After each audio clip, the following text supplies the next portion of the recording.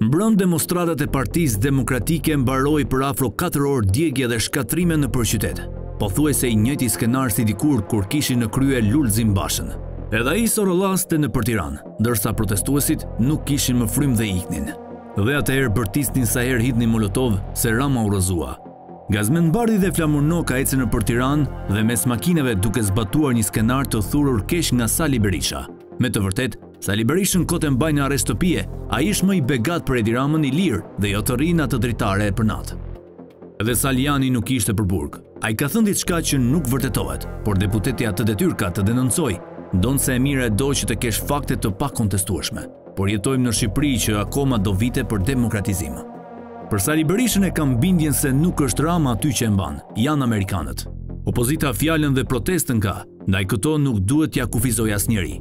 Ndaj dhe reagimi i mbrëmshëm mbetet i ligjshëm, por aspak efektiv për opozitën. Edi Rama ka shumicën e qytetarëve ndaj përsëri do t'i fitojë zgjedhjet në vitin 2025. Por përse?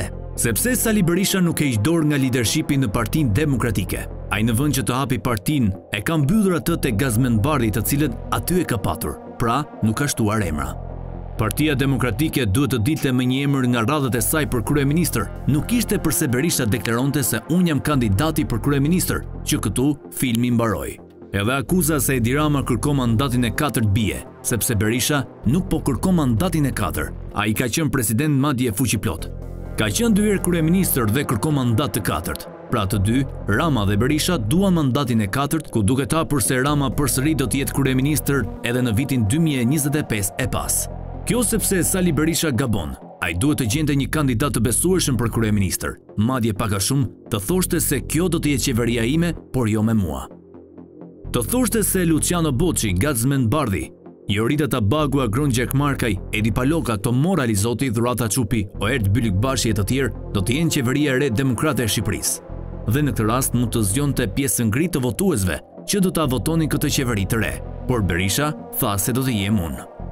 Atëherë shumica thotë, më mirë me Edi Ramën. Dhe një pyetje, përse dogjën vendqëndrime në stacionet e autobusëve, po me reklamat ç'patën, ato janë pronë private.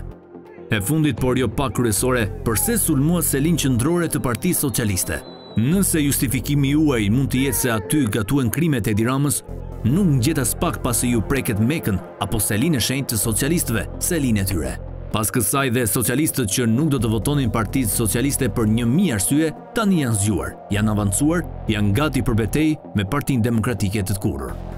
Gabim i madh ata që i nderuan djegien e selisë qendrore të Partisë Socialiste.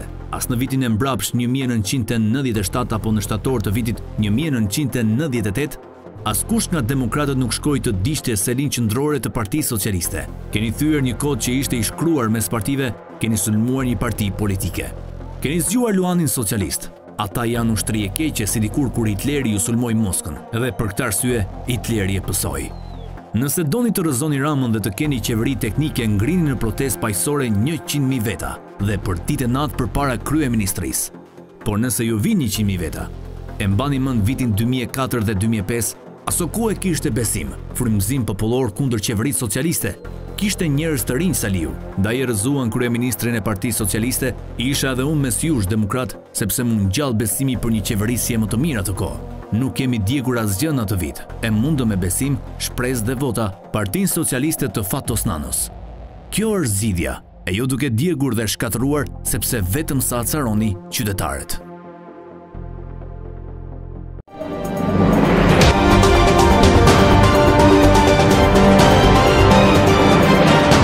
Editoriali i Koha Jonë